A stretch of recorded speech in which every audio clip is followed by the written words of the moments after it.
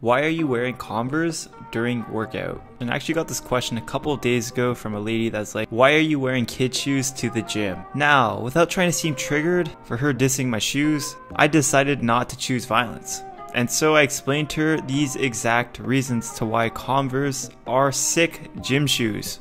Now, are Converse stylish? Yes, to me at least, but that's not the main reason why I wear them.